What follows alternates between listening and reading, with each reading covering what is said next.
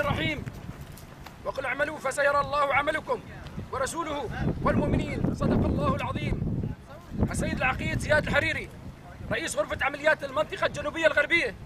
قائد لواء الكرامة أضيف الكرام قادة الألي والكتائب السادة الحضور. تم بعون الله تعالى وفضله. تخريج دورة جديدة من أبطالنا أبطال الجيش السوري الحر. لواء المهام الخاصة كتيبة سيف الله المسلول. نسأل الله لهم الثبات.